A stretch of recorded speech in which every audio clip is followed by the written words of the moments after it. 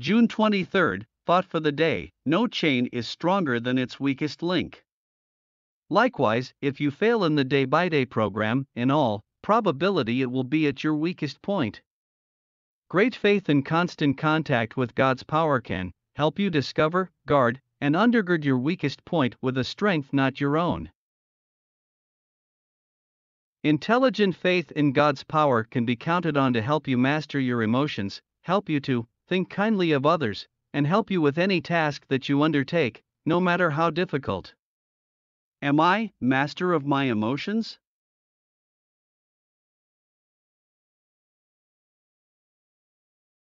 Meditation for the day, you need to be constantly recharged by the power of the Spirit of God. Commune with God in quiet times until the life from God, the divine life, by that very contact, flows into your being and revives your fainting spirit. When weary, take time out and rest.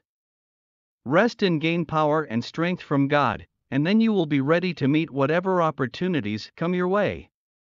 Rest until every care and worry and fear have gone, and then the tide of peace and serenity, love and joy, will flow into your consciousness.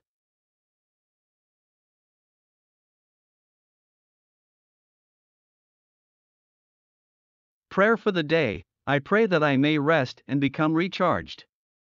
I pray that I may pause and wait for the renewing of my strength.